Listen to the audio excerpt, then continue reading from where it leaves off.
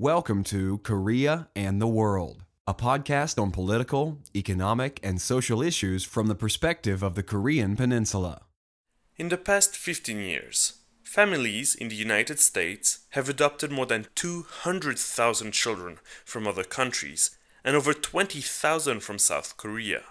The origins of America's status as an adoption nation lie in the years after the Second World War, and oftentimes in humanitarian intentions. Yet, adoption is also linked to problematic phenomena, from racial preferences on the side of the adopters to economic interest in the adoptees' home countries. To learn more about the adoptions that link America and Korea, we had the pleasure to interview Catherine Ceniza Choy. She spoke to us about the historical roots of this phenomenon and the intentions that drive it, the particular development of adoptions from Korea to the United States, and the many interpretations and problems that arise from them. Catherine Ceniza Choy is professor of Asian American and Asian Diaspora Studies at UC Berkeley. She is the author of the book Global Families A History of Asian International Adoption in America, as well as various journal articles and another book on international adoption. Choy received her PhD in history from the University of California in Los Angeles, an MA from the same school, and a BA from Pomona College. Professor Catherine Ceniza Choy, welcome to Korea and the World. Thank you. It's nice to be here. First of all, what brought you to Korea? Well, I'm here in Korea for the 2015 2016 academic year as a Fulbright Distinguished Lecturer at Yonsei University. The Fulbright is a U.S. government sponsored exchange program between the United States and many different countries throughout the world, but I really wanted to come to Korea. The first time I came to Korea was in 2010 for research and uh, scholarly exchange, but I was only here for two weeks. I came with my husband, who is also an academic, and we presented a paper on Korean international adoption at an international symposium on Korean adoption studies that was held in Seoul in 2010. And we had an amazing time, both scholarly as well as personally. And so, ever since that experience, I wanted to return. The second reason I really wanted to come to Korea is more personal, and it has to do with my husband. He has Korean heritage from his father's side, and he's a third generation Korean American. So, my husband and I, we have two children who are now teenagers, and they have Korean heritage as well. So, coming to Korea was also to learn more about Korean history and culture and to expose ourselves as well as our children to Korean heritage. We want to talk today about the adoption of Asian children, and especially Korean children, by families in the United States. According to data by the American State Department, American families adopted some 250,000 children from other countries between 2000 and 2015. As you wrote, this makes the United States an international adoption nation. Let's start with a basic question. Why do American families decide to adopt children and especially children from abroad. My book, Global Families, really tried to tackle this question of why the United States is an international adoption nation historically. And I think we tend to think of this phenomenon of international adoption in the United States as something more contemporary, something more recent, maybe late 20th century or even early 21st century. And as you pointed out, the statistics seem to suggest that this is something more recent. But the reality is is that this phenomenon has a history, and it's a history that's inextricably linked to a post World War II and a Cold War history in which the United States government and its military became involved and established a presence in nations throughout the world.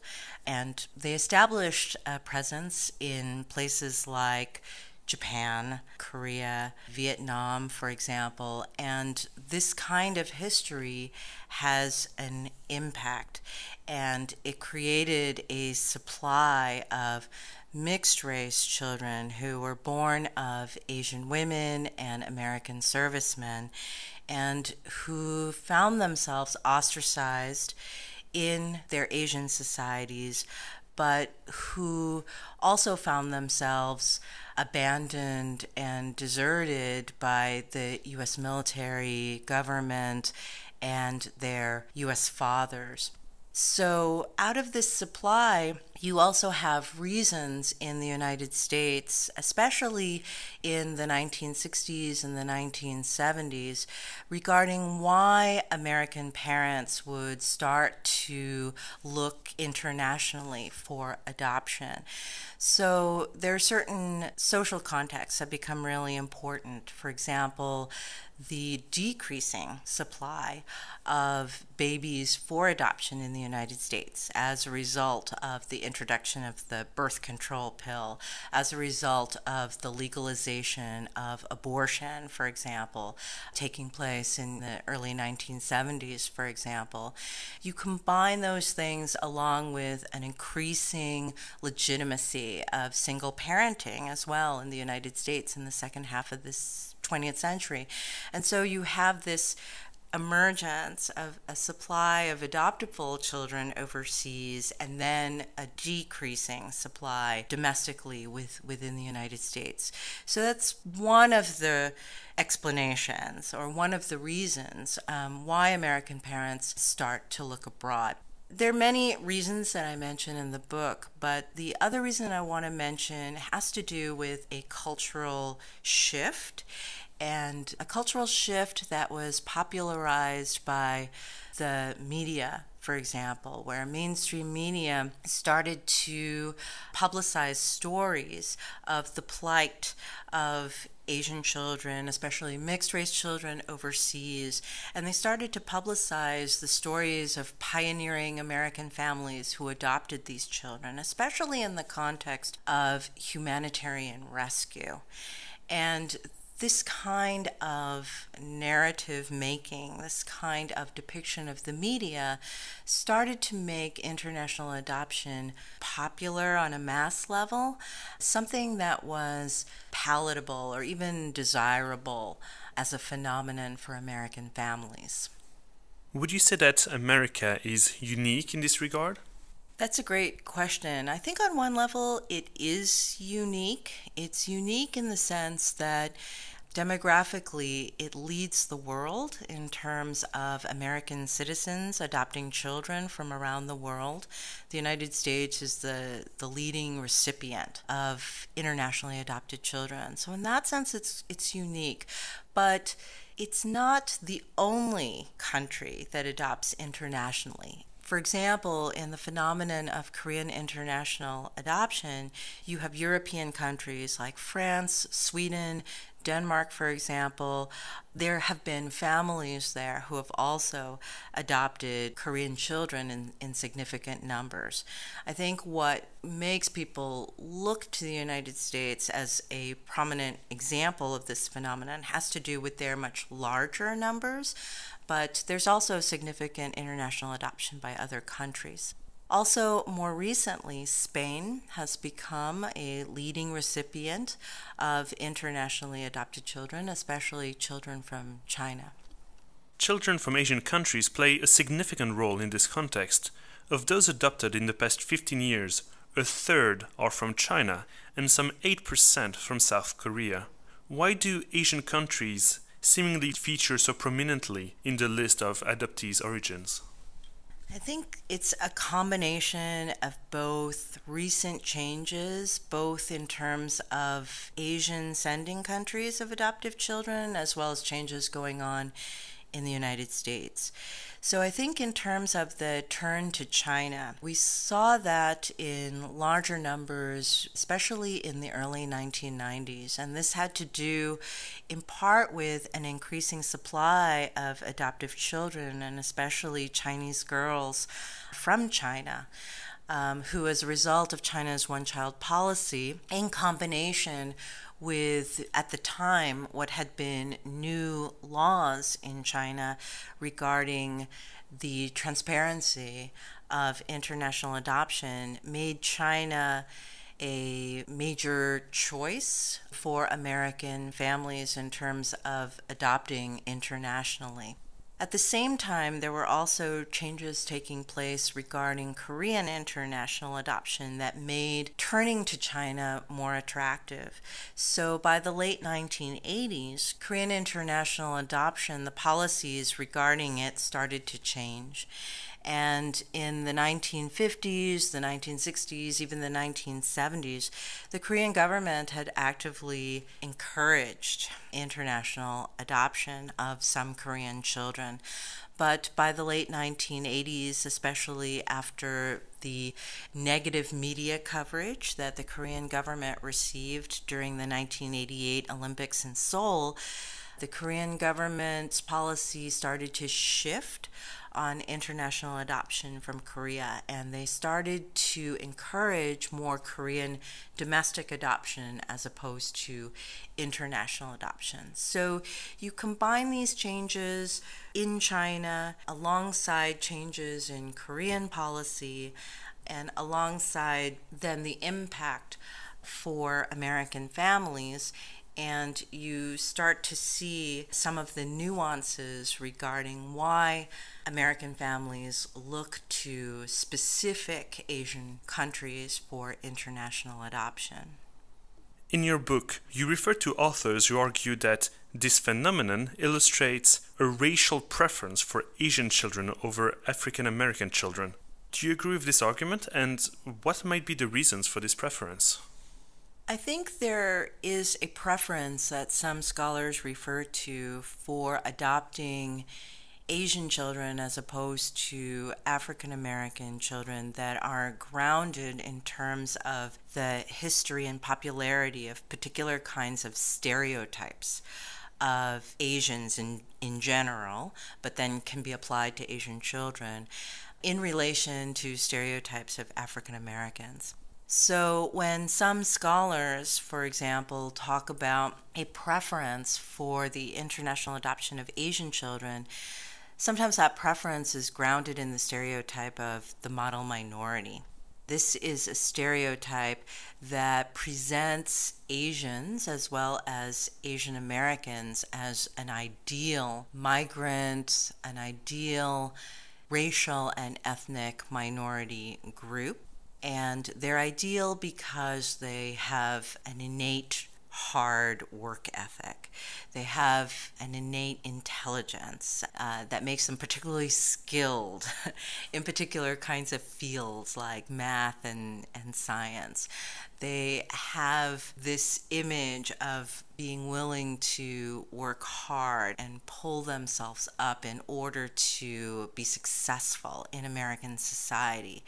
And so sometimes the stereotype is related to Asian children having a more flexible racial difference so that even if they are being adopted not only internationally but transracially, meaning being adopted by parents of a different racial background and specifically who are white Americans, that this racial difference can be overcome because of these kinds of stereotypes that lead to a particular kind of preference.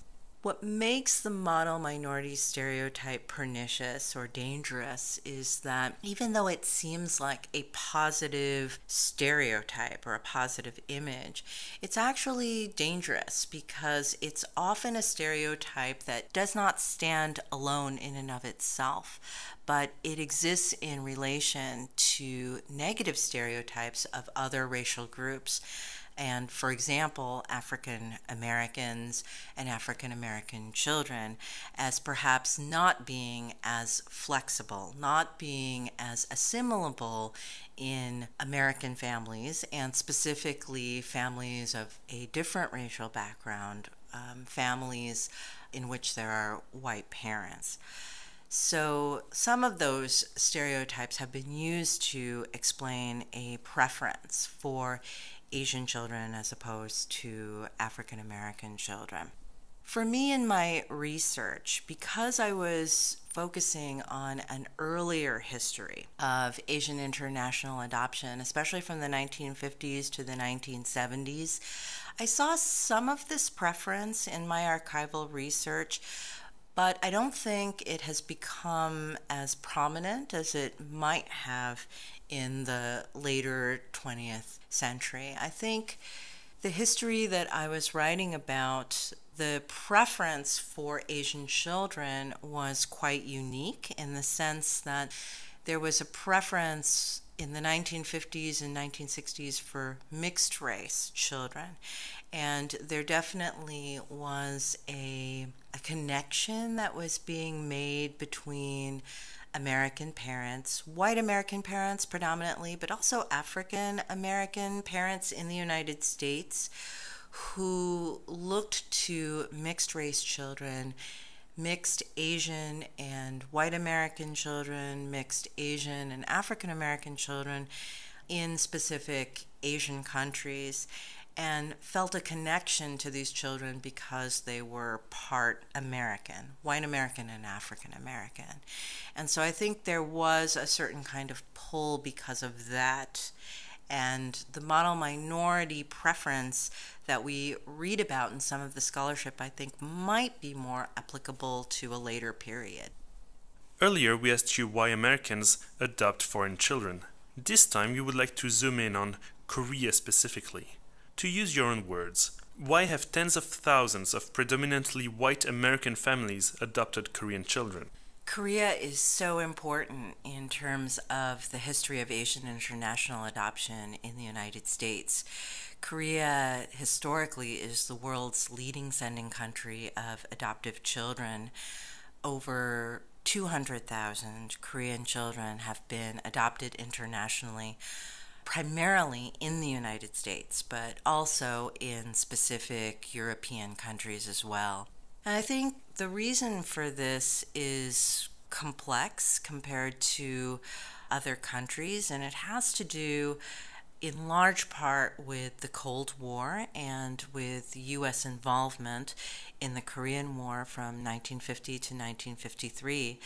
That war certainly devastated Korean society, but because also of active U.S. involvement, there was a large group of mixed race Korean and American children who were born of Korean women and American servicemen.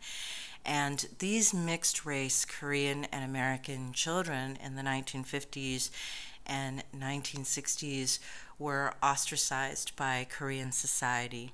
The country was devastated, so homeless children in general uh, were also suffering. But those children who were of mixed parentage, and especially of mixed American parentage, were ostracized and discriminated against.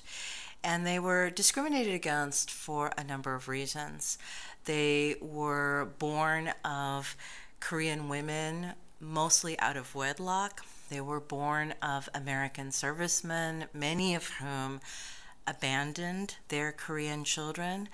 And even for those American servicemen and Korean women who wanted to get married and wanted to keep their children, those marriages were actively discouraged by the US government. The children were also discriminated in Korean society because they looked different. And perhaps even more importantly, they embodied an unequal political relationship between the United States and Korea. So you have this group of mixed race Korean and American children who formed the first group of a supply of adoptable Korean children, especially for American families abroad.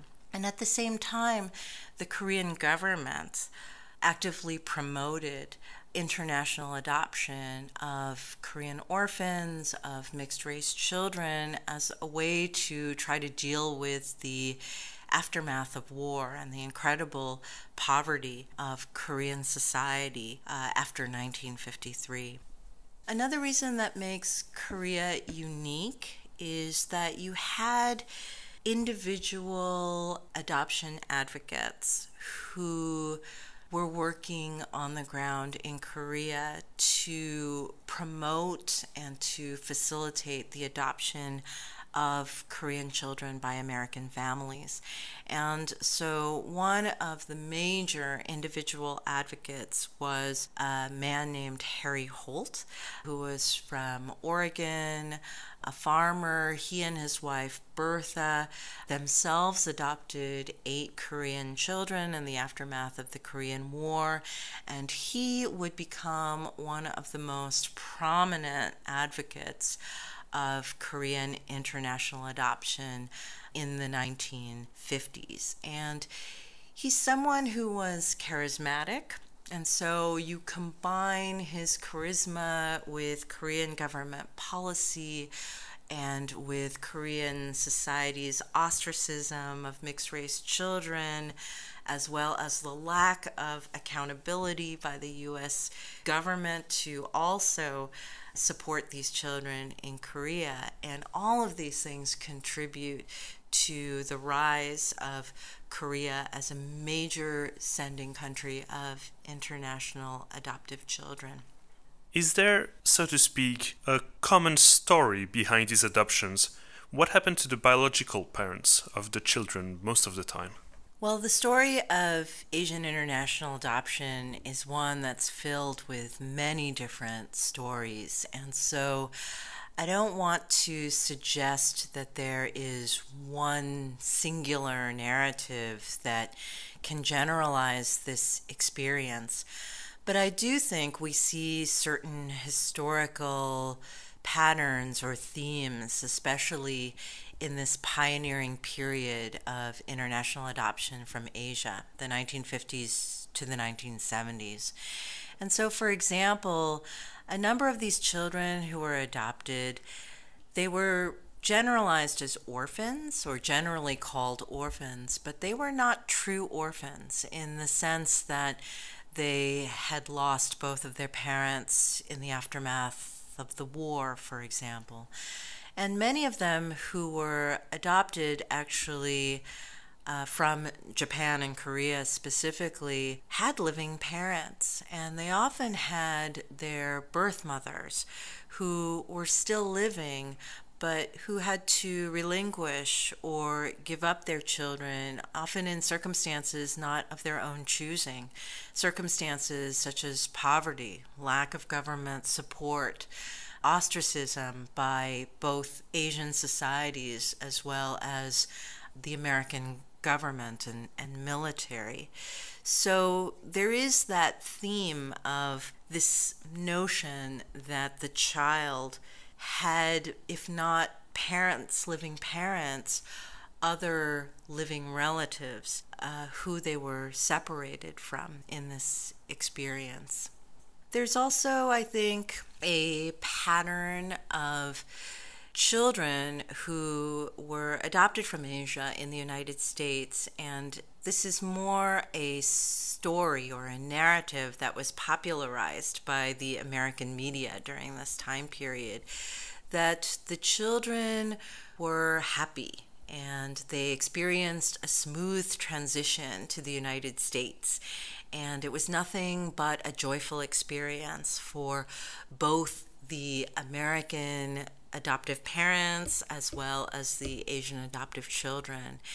And my research shows that this seamless, joyful story was more of a stereotype as opposed to a lived experience and that realistically, yes, there were joys regarding the adoption of Asian children by American families during this Cold War period, but there were also a number of difficulties. Some of the Asian adoptive children were old enough to remember their living relatives, old enough to remember their birth mothers or their Asian foster mothers.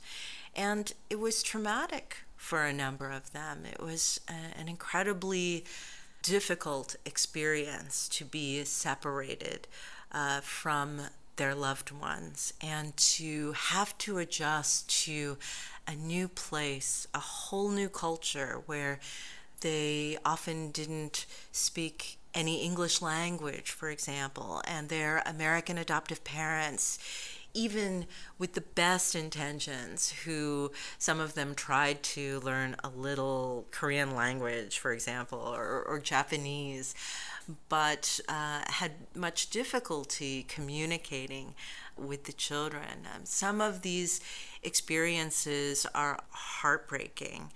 And so I think it's a, a more truthful portrayal of this history to say that there was a common experience of joy in terms of creating a new kind of family, but there was also a lot of stress and anxiety and sorrow that was associated with this experience. You locate, to quote you, a watershed in the history of Asian international adoption in the so called Hong Kong Project that began in 1955. Could you briefly explain what this project was all about and why you regard it as so significant? The Hong Kong Project was a project that was started by a non sectarian, non governmental organization called the International Social Service United States of America branch in the mid 1950s. And the general idea behind the Hong Kong Project was that there were refugee children living in Hong Kong whose families were fleeing the communist mainland China. And sadly, the conditions in which they lived in Hong Kong were deplorable in terms of overcrowding, limited future opportunities for education and socioeconomic mobility, and poverty. And so, a number of Chinese families who had fled the mainland to go to Hong Kong relinquished their children for adoption. The International Social Service, USA branch, then used the Hong Kong project to arrange for the adoption of some of these Chinese refugee children from Hong Kong by American families. What was unique about this program is that we tend to think of Asian international adoption as a transracial phenomenon where primarily white American families adopt Asian children. We tend to think of it that way in more contemporary times. But in the 1950s and 1960s, social service agencies still tried to have um, Asian American parents adopt Chinese children, for example, and specifically in this case, Chinese American families adopting Chinese refugee children in Hong Kong. And what they found was when the ISS USA publicized this project of international adoption, they targeted Chinese American families in cities like San Francisco, where there was a large Chinese American population. But what the ISS USA discovered was that a large number of white American families expressed interest in adopting Chinese children. These Chinese children were quote unquote full blooded Chinese children. They were not the mixed race Korean and American children or the mixed race Japanese and American children who were fathered by U.S. servicemen, but rather were full blooded Chinese children. And the ISS USA observed that white American families were interested in adopting these Chinese children. And so this was an important turn. It is what I call a watershed, a break from the past, in the sense that there was more of an open willingness to transracially adopt children who were not necessarily born of American fathers and specifically American servicemen. Did this Hong Kong project affect South Korea in any way? Well, I think it affected South Korea in the sense that the ISS USA was also facilitating adoptions from South Korea at the same time that they were doing the Hong Kong project. And what happened was, once they started the Hong Kong project, by the 1960s, the ISS USA was facilitating more international adoptions from Hong Kong as opposed to South Korea.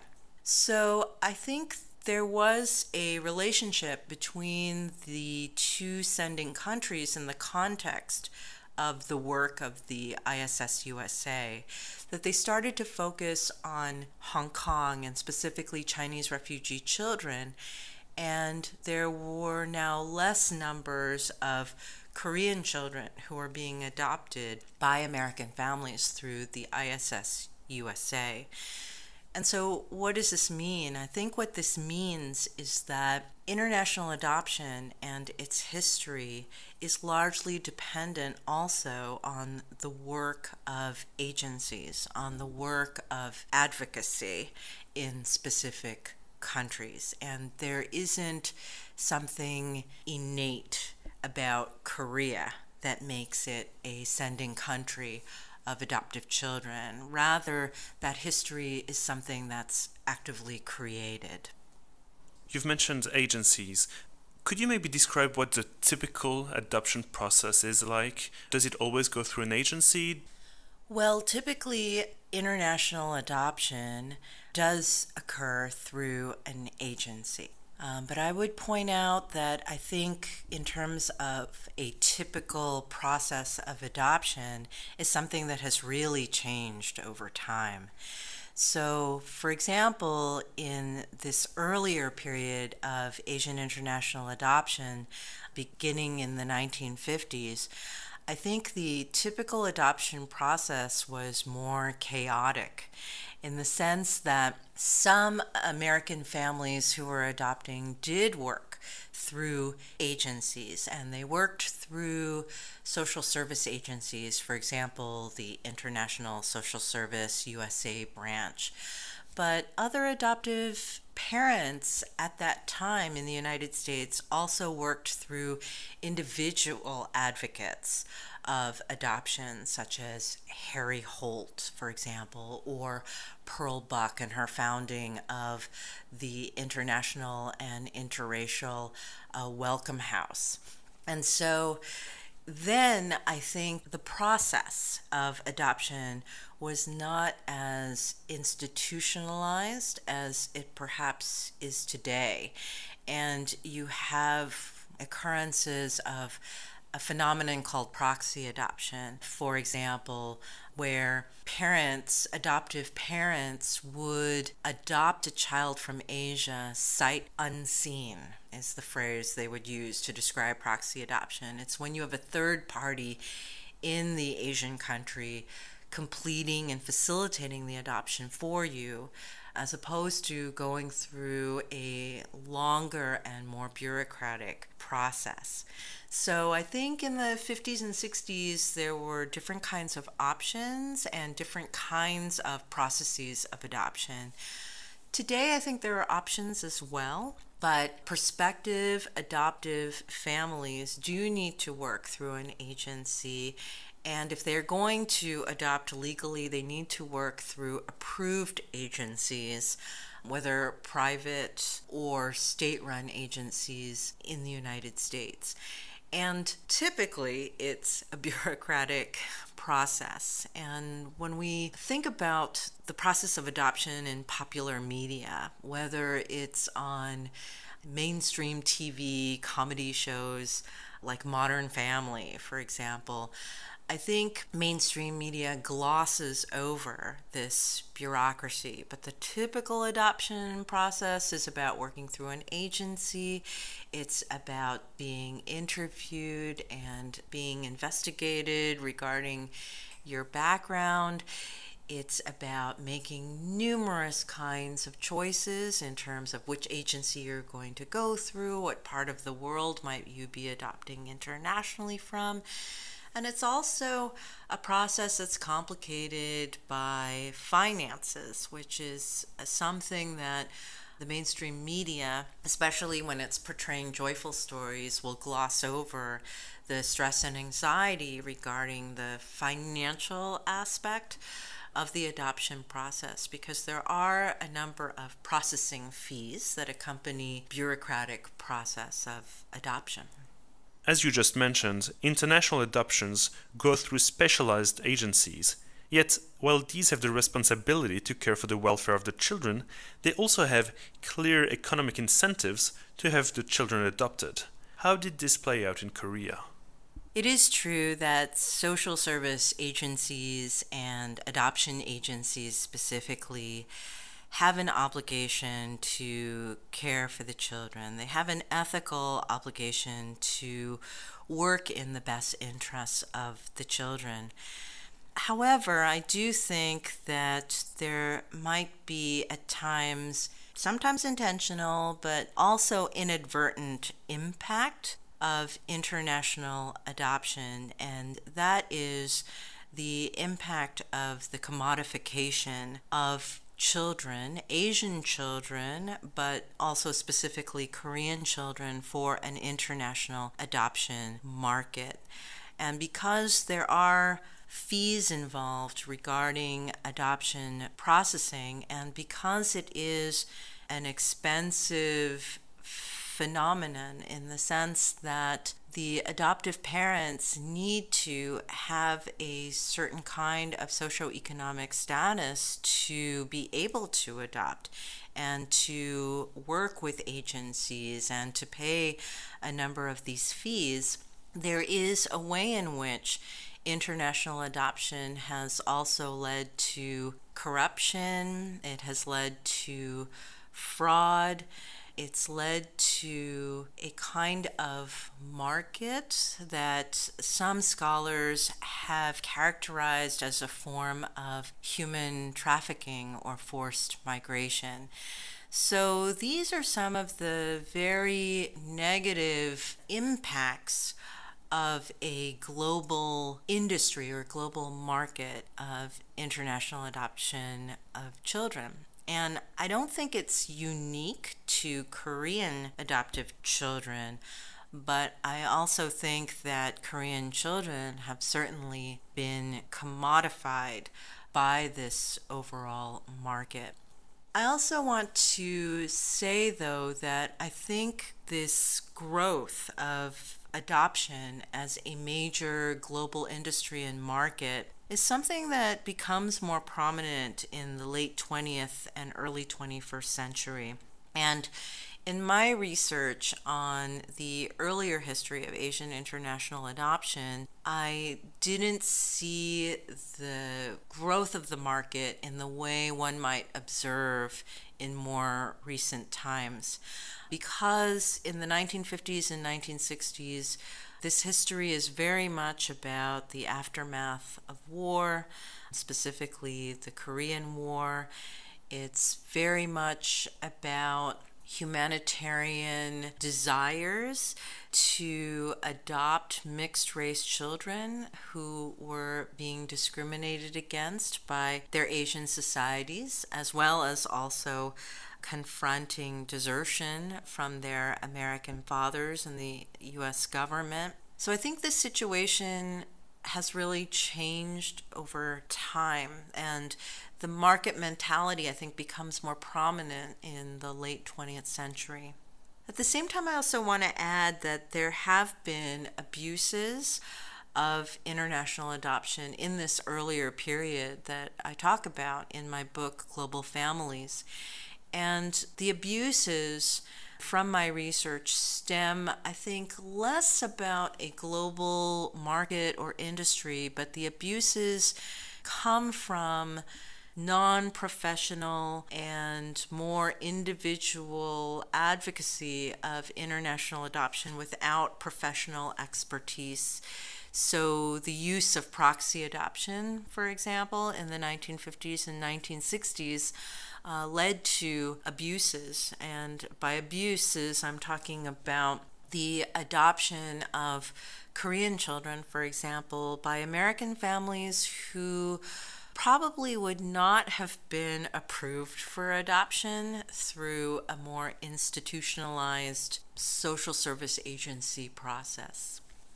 Earlier, you mentioned that the Korean state promoted international adoption early on. Why is that? Did they have any direct benefit from it? The South Korean government did promote international adoption from Korea in the 1950s and the 1960s and even through the 1970s. And it continues actually to send adoptive children abroad, even in more recent times, albeit in much fewer numbers. So, yes, they benefited from it, but I think it's important to understand that government officials also were not working in conditions of their choosing, especially in the aftermath of the Korean War. The country was devastated. There were so many different groups of people who needed help. And then there were new categories of people who emerged out of war, such as mixed race children, of Korean women and American servicemen.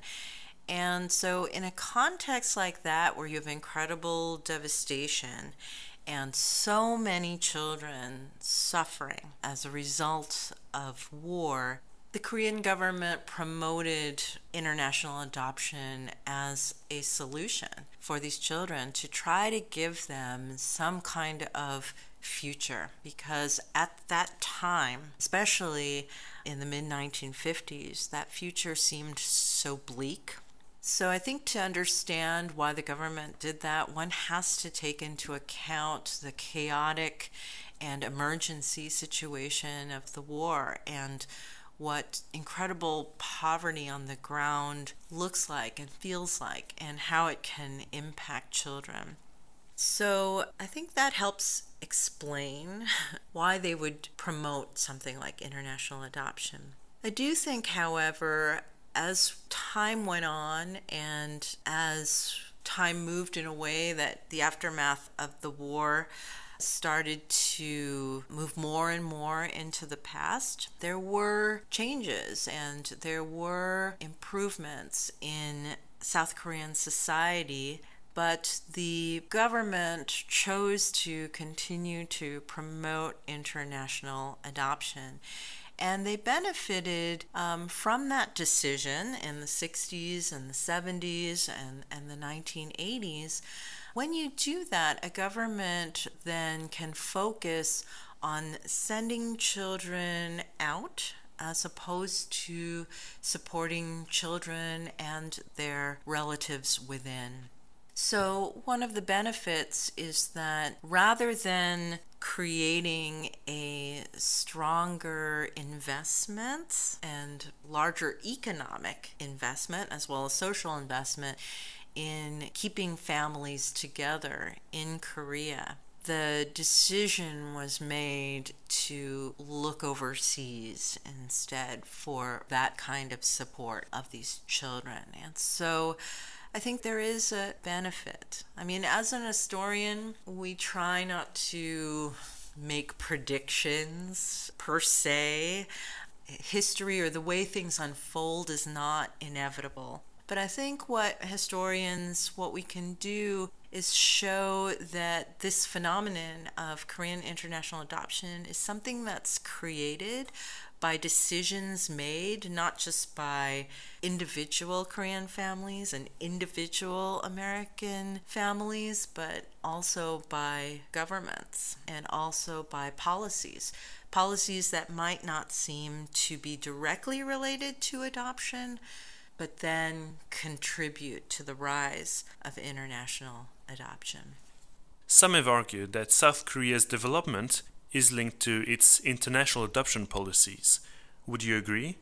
There have been scholars and artists who have made that point that South Korea's economic miracle is inextricably linked to its history of promoting Korean international adoption. And I think they make a good, insightful point in the sense that the government invested in sending children overseas as opposed to investing economically, politically, and socially into social services, for example, that would keep those children and their relatives here within Korea. So I do think they make a good point.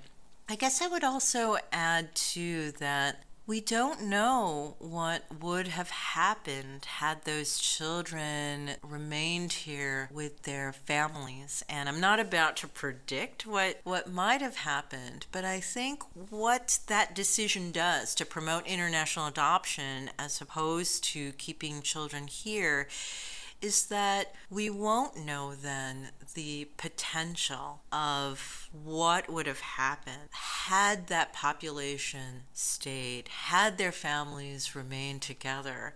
What would they have contributed to Korean society? The position of the South Korean government on international adoption eventually changed. Could you tell us more about this process? And did any specific event contributed to it? There was a change in South Korean government policy, and I think the main turning point happened in the late 1980s when South Korea hosted the Olympics in 1988 in Seoul. It brought worldwide attention to Korea to its history, its culture, its incredible modernity in the late 20th century. And with that media coverage of South Korea's achievements, also came a media coverage that was critical, a coverage that included critiques of the South Korean government sending its most precious resource, and that is its own children, overseas to be adopted and to be cared for by foreign families. And so this was an irony. this was a form of insult to South Koreans, the government, but also the, the population in general, which is how is it that a country so modern and so advanced could also distinguish itself by sending so many children overseas? And as I've mentioned, so much of that international adoption was the outcome of the aftermath of the Korean War. But that was then, and this was the late 1980s. And so after this irony, this contradiction was publicized, the South Korean government changed its policy in part from this domestic as well as global criticism and tried to promote domestic adoption, that is, adoption within Korea. It is important, though, to acknowledge that even though we don't have the high numbers of adoption of Korean children in the late 20th century and early 21st century that we saw in previous decades, that international adoption from Korea still continues. It still continues. And so it's something that has not ended completely It hasn't gone away and it continues to influence the history of Korea. To expand on this, South Korea seems to play a role incommensurate with its actual size.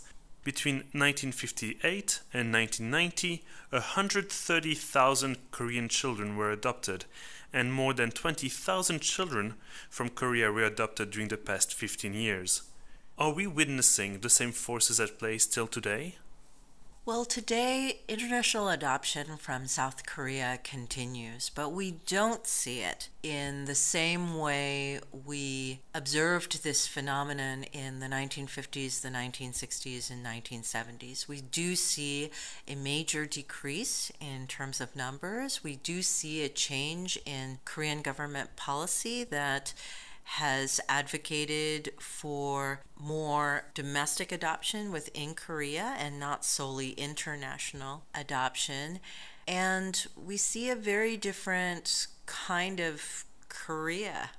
Um, it's really difficult to do justice and compare Korea of the late 20th and early 21st century with Korea from the 1950s and 1960s. It does seem like a different world um, in so many different ways. And one of the lenses we can view that difference actually is, is through adoption and some of the changes that have occurred with adoption. And those changes include not just decreasing numbers by the late 20th, early 21st century, but it also includes, I think, a unique phenomenon, at least unique for now, which is that because so many Korean adoptees uh, have now come of age, and that there's a longer history of this phenomenon from Korea. You now have Korean adoptees who are adults. They're no longer children. They are forming organizations in the United States, they're forming organizations in European countries. They're forming international organizations. And those Korean adult adoptees are creating new kinds of kinship or new kinds of families, if you will, that go beyond biology or formal adoption, in which they are making connections with one another and they are returning to Korea.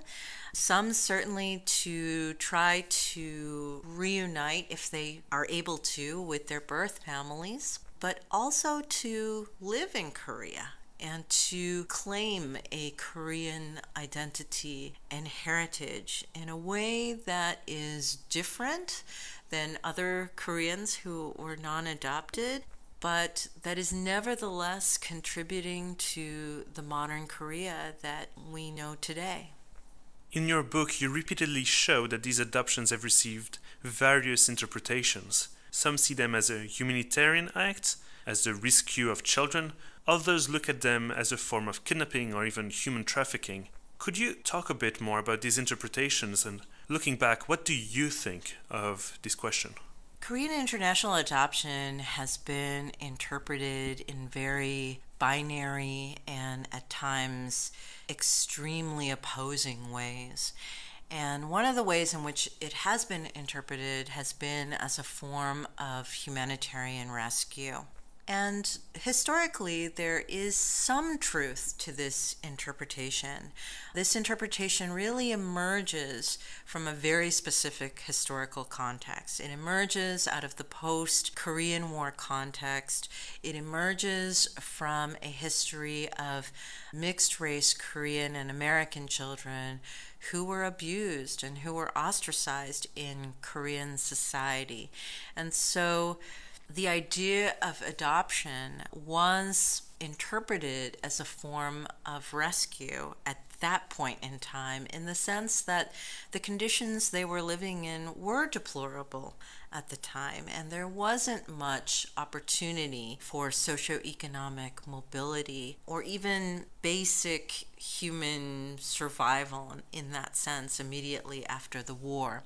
So there's some truth to that interpretation other kind of interpretation of Korean international adoption is one that views it as a form of forced migration and human trafficking, one that is filled with corruption and abuse. And we also have to acknowledge that there's some truth to that interpretation. That when you adopt children internationally, Sometimes it can be a good thing, but we have also seen historically how it has also contributed to further abuse of these children, either through the adoption by parents in the United States who were abusive themselves and were not qualified to be parents of these children.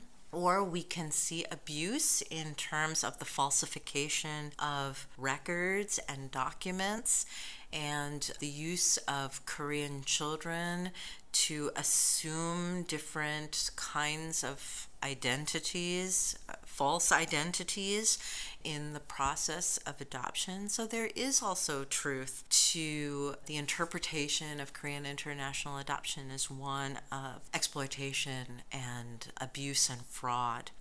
For me, however, even though we need to understand these interpretations on their own terms and in their unique historical context, I don't think this either or binary thinking of adoption is as realistic or as truthful. And I think it is more truthful that a history of Korean international adoption take into account both the aspect of humanitarianism that was associated with this phenomenon, especially in its earlier decades, but that it also takes into account that actual abuses have occurred and that there are histories that we know of that can prevent or help prevent at least these kinds of abuses so that the international adoption of Korean children but children in general is one that can be more ethical and one that can be more humane. So, I want to give an example of a more nuanced kind of approach to international adoption. Um, for my book, Global Families, I did archival research, intensive archival research in the organizational records of the International Social Service, USA Branch. This was a non sectarian, non governmental organization. And what I learned from doing archival research in their records was that they had facilitated and advocated for international adoption in some cases, while at the same time they promoted and advocated for indigenous social services within the Asian countries themselves, such as Korea, such as Japan, also in Hong Kong, for example. And I think this idea that international adoption can be a good solution, but at very specific times, alongside the view that families, as much as possible, should be kept together and that children should remain with their families and in their home countries as much as possible. These views can coexist and create a more ethical approach to both international adoption and social service. And I think it does more justice to the process as a whole. And this viewpoint does more justice to a complex history that should go beyond binary interpretations. In a book chapter you wrote, you start off with a quote from Los Angeles Times staff writer Bettijane Levine, who describes the orphans adopted by white American families as, and I quote, the first mass wave of international, interracial adoptions ever on the planet, the forerunner of all those that have since become commonplace. What are the lessons that we should draw from this first wave, and have they been applied to more recent practices? I think there are a number of lessons that we can learn from the history of Korean international adoption and its significance in not only Korean history but world history.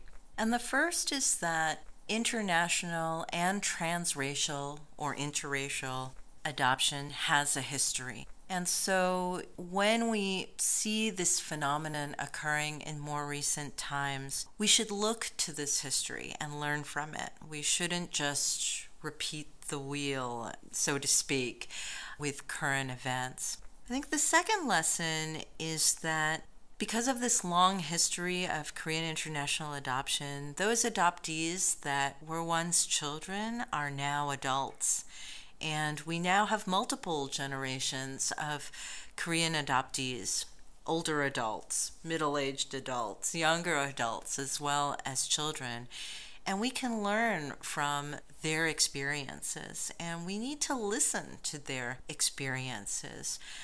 So much of my research in the records revealed that the voices of the adoptees themselves were oftentimes missing from archival records. And what we see is a privileging of social workers' voices and experiences. We see a privileging of individual adoption advocates and their experiences, advocates like Harry Holt and what would become the Holt Adoption Program. So we don't see as much of the voices and experiences of the adoptees themselves. And now we don't have an excuse for that.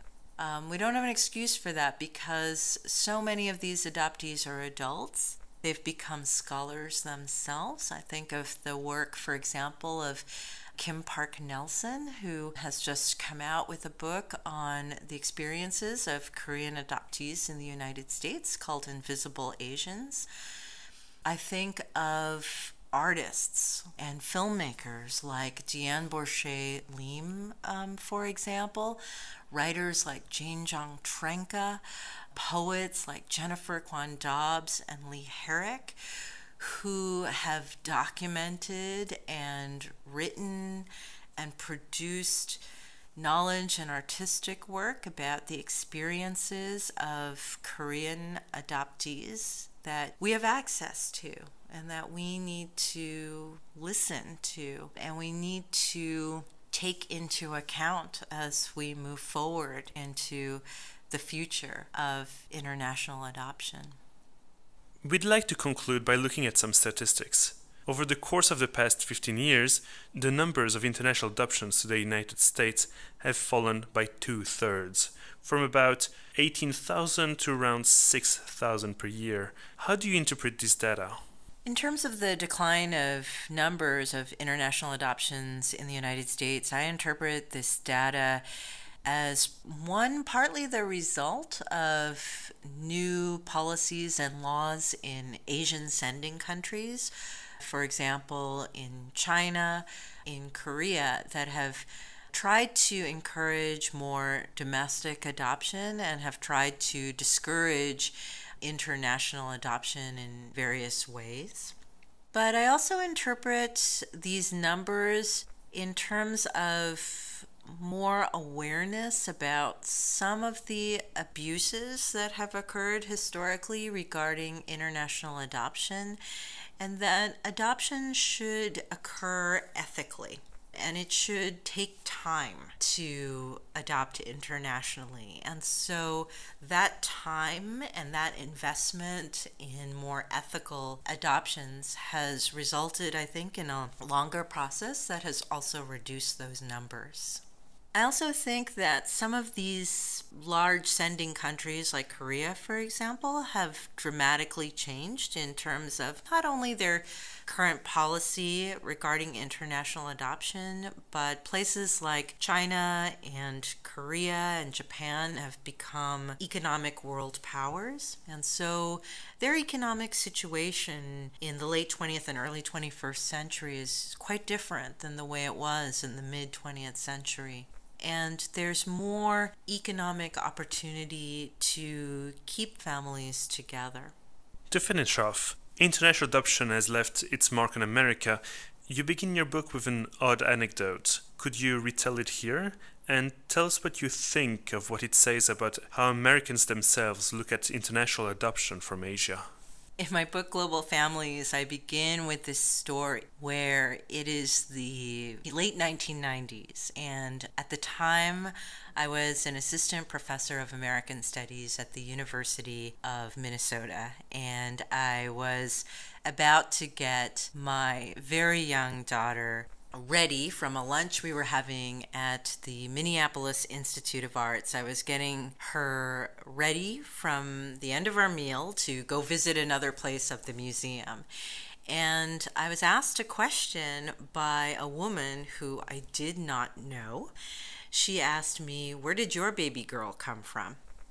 And I paused for a moment because this woman was perhaps in her mid 60s, and I thought, well, I don't need to give this woman a lesson on sex and reproduction um, about where my daughter came from. So I thought.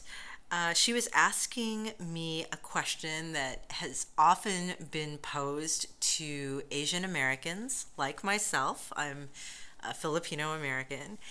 And that question that has been posed to Asian Americans, whether they're newly arrived immigrants or third or fourth generation Asian Americans, is where are you from? And that's a question for which my answer, I'm from New York City, that's the place of my birth, that's often not the right answer to that question when I'm being asked that question by typically a white American. They want to know, where am I really from? And it, it speaks to that stereotype of being, of Asian Americans being perpetual foreigners in the United States. So I've been asked this question many times, and I responded, well, I am a second generation Filipino American. Now, I'm, I'm from the United States, and my husband is a third generation Korean American on his father's side, and he's also a third generation Chinese American from his mother's side. And so my daughter is from here, from the US. She's a third generation Filipino American and a fourth generation Korean and Chinese American from her father's side.